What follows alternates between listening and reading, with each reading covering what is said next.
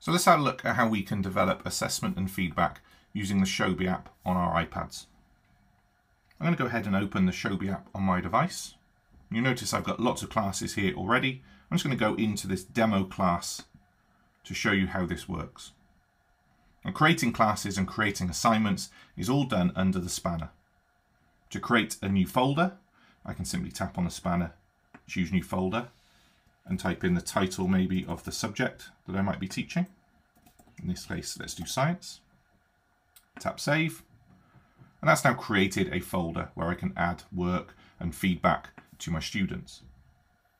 If I go into my maths one, for example, you see that I've started a new assignment just by tapping on the spanner again and going new assignment. And I've called this a math starter activity.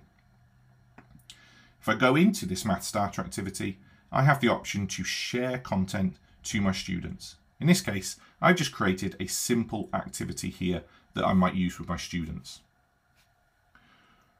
On the student screen, you'll see that the students can equally join my class in the same way. They can tap on the plus, tap on join class, and they'll have to use the code that I supply for them to join.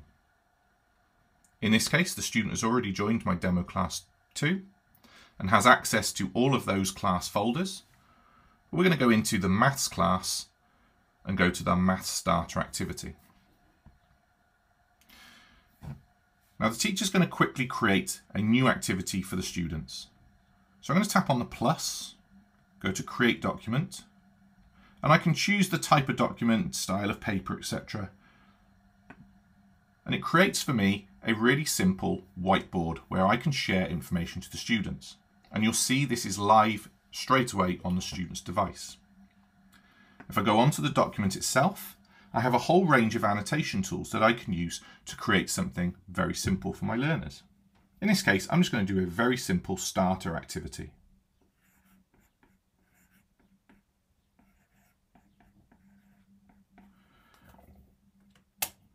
When I tap done on my screen, that's now going to create that for my students and save those annotations. So when the student taps on the document,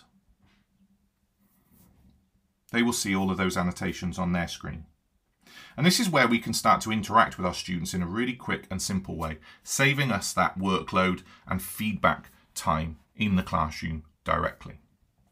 The student can now select those feedback tools, put their answers on the page, but equally can record their voice by tapping on the audio recording, tapping on the screen, and choosing to record. Thanks for this, sir, but I did find these pretty easy maths questions. Is there anything harder I can have next time? When a student taps save, it adds that voice note. And when they tap done at the top, it shares that work back to me. On my screen, again, instantly you see a paperclip appear next to the student's name and a blue marker to say that I haven't looked at it yet. If I tap on that student's piece of work, I then see their annotated work if I open it up, I have access to my annotations again, and I can see their voice note. I can now use the pens again, and I can mark their work, and equally give them some feedback on their work. Great answers to this, and good to know that you want some more challenging things next time, Richard. And I can save that. And again, that will send that back then to the student to show that their work has been marked. So a really quick and easy way to interact. You'll notice on the student screen now, they have a circle showing that their work has had some feedback given on it. Now that's just one example of using Showbie in a simple way. Equally, I could set a longer assignment to my students and share resources with them at the same time. By tapping on the plus, I can import documents from anywhere on my device. As long as I've got things like OneDrive or Google Drive accessible, anything on my device can be shared with the students. Or perhaps we should find something more relevant to maths. Let's go back onto my iCloud. Let's have a look for a maths problems. Let's see if we've got something on fractions, for example. You'll notice I can search anything on my device and upload it. Let's choose this fractions key stage 2 activity. It simply loads this onto the device and shares this directly with the student. At this point now, you can see on the student's device they have access to that document, in which case they can open this and look what the document is asking them to do. This is just an overview of the document. Or they can tap into the document itself and have those same annotation tools as before and directly right onto this document.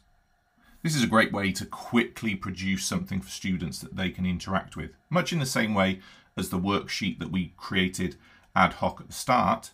This can be something, could be a simple presentation you've created for your students to allow them to interact with. When the student has done their work, I instantly can see that on my screen once they tap on done. So there we go. Simply using Showbie as a tool to share work with students, but equally change the way that you give feedback to students on their work in real time.